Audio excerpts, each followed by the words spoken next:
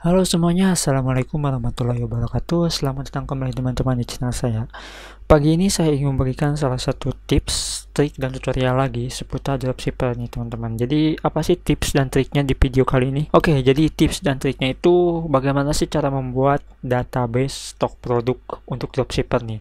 Itu mau dropshippernya mau di Tokopedia, mau di Shopee, mau di Lazada, mau di Bukalapak juga bisa ya teman-teman. Nah sebenarnya video ini tuh mau saya buat sebelum waktu lebaran ya ataupun di pertengahan puasa. Karena ya banyak kendala banyak masalah dan banyak segala hal ya teman-teman yang saya alami jadi baru bisa buat kali ini. Sebenarnya ini tutorial tuh emang simple ya. Jadi ini nih ini penampakannya. Ini penampakannya kayak gini teman-teman ya. Sebenarnya ini tutorial itu gampang. Mungkin teman-teman juga udah buat ya kayak gini. Tapi seenggaknya ya saya walaupun uh, tutorialnya itu dikit tapi kadang-kadang itu kita itu bisa keliru dalam cek salah satu stok produk dari produk kita ke seller teman-teman. Contohnya misal dari total stok produk itu 1000 nah 1000 produk itu apa aja sih yang bisa 1000 nah kalau kita nggak ditransparansikan itu bisa jadi ada kekurangannya kurang satu aja itu bakal jadi bermasalah teman-teman. Sebab kalau penjualan di toko online itu kadang-kadang ya kadang-kadang biasanya misalnya kita cek hari ini pagi ini tuh misal stok produk masih 500 produk ya misalkan. Terus si toko sellernya itu rame teman-teman. Nah ketika toko sellernya itu iklan misalkan ya iklan tuh budgetnya itu 700 ribu. Si seller iklan itu teman-teman juga iklan sama dengan budget yang lebih tinggi misalkan satu juta lah budget dengan satu juta selama durasi dua hari. Nah, teman-teman ngira kalau misalkan kayak gini, wah ini stok produk 500 masih lama sih habisnya. Soalnya kan si produknya itu kebakalan cepat habis selama dua hari. Tapi siapa yang tahu kan teman-teman kalau misalkan si salah iklan kalau kita iklan, nah kalau kita nggak cek selama dua hari, terus tiba-tiba banyak orderan masuk ke kita juga, terus banyak orderan masuk ke seller juga, gimana tuh?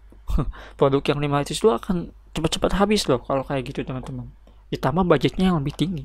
Nah, saya buat seperti ini agar teman-teman itu bisa lebih manage juga, terus bisa lebih transparansi, istilahnya itu lebih terperinci dan lebih detail lah teman-teman. Oke, ini adalah data produk passion ya, passion, bukan mau kena ya teman-teman, tapi passion.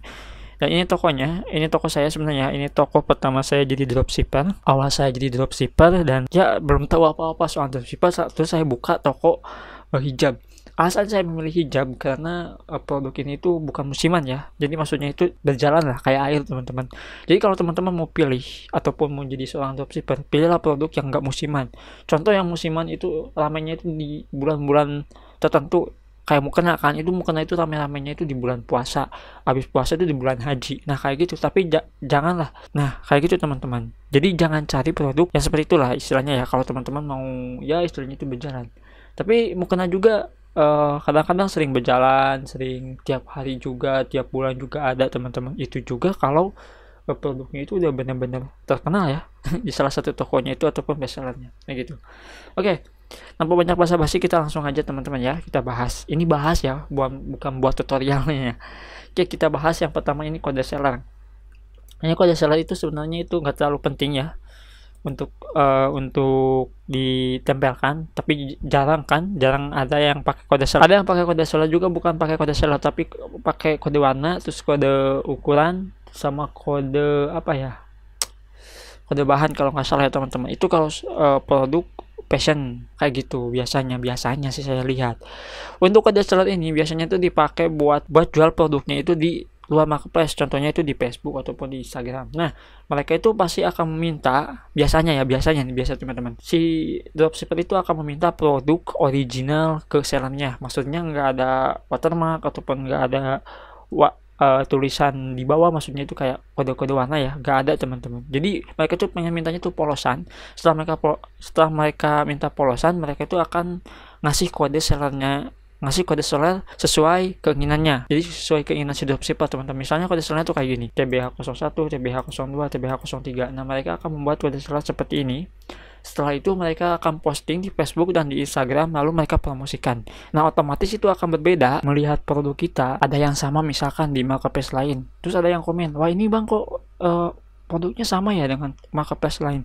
Tapi ini beda. Nah mereka itu pasti akan mengingat seperti itu. Karena apa? Karena kita menggunakan kode seller teman-teman. Uh, jadi istilahnya mereka itu akan menganggap kita itu punya brand ataupun kita itu punya toko sendiri. Kayak gitulah ya untuk kode seller. Terus nama produk dan sumber. Nah ini sumber itu dropshipnya ya. Kita dropshipnya itu dari mana? Eh sellernya maksudnya. Sellernya dari mana? Misalkan dari Shopee. Nah terus nama produknya nama produk apa? Silahkan teman-teman cantumkan di sini. Uh, misalkan nama produknya itu atasan Muslim Tamara. Nah terus sumber di Shopee-nya di sellernya itu namanya apa? Misalnya Tamara tinggal teman-teman masukkan namanya di sini ya harus sesuai jadi kita nggak bingung lagi. Kita tinggal klik nanti otomatis akan masuk ke browser produk teman-teman dan kita jika kita klik ke sumber ini yang Tamara akan masuk ke sumber Shopee jadi ke produk Shopee-nya. Dan untuk yang nama produk itu akan masuk ke produk Tokopedia kita oke jadi ini ya untuk apa untuk nama produk dan sumbernya. Untuk harga beli harga jual dan untung ini harga beli misalkan dari sellernya itu harganya itu 56.000 nah kita jual keuntungannya berapa nih? Mau 5.000 ataupun 10.000 atau 15.000 mau 100.000 juga terserah teman-teman. Tapi harus uh, harus sesuai. Jadi kita harus riset dulu kompetitor yang lain maksud riset kompetitor itu kayak gini. Kita melihat pedagang-pedagang lain berapa sih harga dengan produk ini? Berapa sih harga dengan kategori atasan muslim ini? Apakah harga dengan 66.000 itu masih bisa masuk akal masih bisa masuk closing?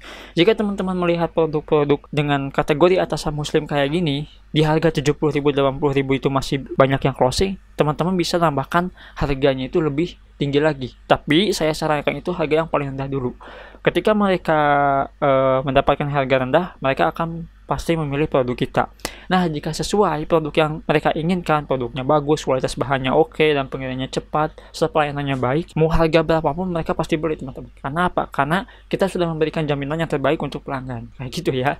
Jadi untuk untung lebih baik kecil dulu harga yang murah-murah dulu ya teman-teman 10.000 untungnya itu 15.000 kayak gitu ya tapi saya sarankan untuk 10.000 dulu Terus untuk stok produk, stok kosong untuk untuk stok produk, stok kosong dan stok baru ini bisa teman-teman atur ya. Misalnya untuk atasan Muslim Tamara, terus kita cek nih di produk kita ini ada. Terus kita cek lagi di sumber Shopee di bagian Tamara ini, ini ada. Nah kalau ada kita masukkan ready teman-teman ya. Kalau misalkan ready kita tulis ready, kalau misalkan kosong kita masukkan berapa produk yang kosong misalnya satu kita masukkan satu teman-teman kayak gini. Stok kosongnya nanti akan otomatis masuk ke sini ya habis. Misalkan dua habis misalkan kayak gitu ya. Jadi ini ngerumus ya ini ngerumus teman-teman.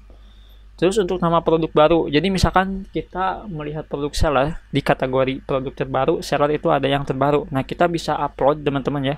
Mau teman-teman masukkan atau enggak juga terserah ya dari situ oke? Okay? nah untuk total produk dari seller.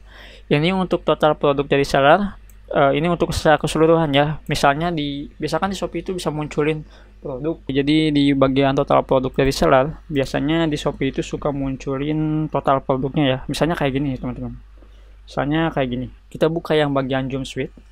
Nah, di sini kan ada yang namanya total ya. Nah, di sini ada 35 buah. Ini untuk secara keseluruhan. Jadi kita masukkan di sini total produk dari seller misalnya 35. Nah, kita masukkan. Nah, kita perinci, perinci yang dari Suite Ani ini 35 itu apa aja? Nah, apakah ada warna army, bata, biru, coklat, dusty, dongker, grim, atau hitam? Jadi teman-teman bisa masukkan di sini ya. Kalau misalkan nggak ada, ya udah berarti tinggal satu ini produknya kayak gini doang, oke? Okay? Untuk warnanya ini bisa teman-teman sesuaikan sesuai dari sellernya. Jadi kalau misalnya sesuai ada warna lemon kita tulis lemon, ada warna hijau kita tulis hijau. Jadi silakan teman-teman terperinci seperti ini, oke? Okay? Untuk passion, untuk passion wanita biasanya teman-teman. Oke, teman-teman mungkin itu saja ya videonya. Uh, emang agak sedikit cepet juga ya saya buat tutorial karena ya nggak mau lama-lama juga teman-teman dan semoga teman-teman itu bisa bermanfaat video ini ya. Mau kritik, mau saran silahkan teman-teman tinggalkan di komentar. Terus jika ada salah-salah kata silahkan kritik juga di komentar tapi dengan sopan ya teman-teman. Ketika teman-teman lihat video ini ketika saya membuat tabel seperti ini silahkan teman-teman praktekkan buat sebuah tabel yang bagus yang menurut teman-teman yang dibutuhkan teman-teman mau itu tabel dropshipper uh, harga mau tabel produk mau tabel kata kunci mau tabel reseller ataupun mau tabel apalah itu tentang dropshipper silahkan teman-teman buat ya yang menurut teman-teman berguna ataupun bermanfaat Oke, mungkin itu aja ya teman-teman. Terima kasih untuk video kali ini. Sampai jumpa video selanjutnya. Assalamualaikum warahmatullahi wabarakatuh.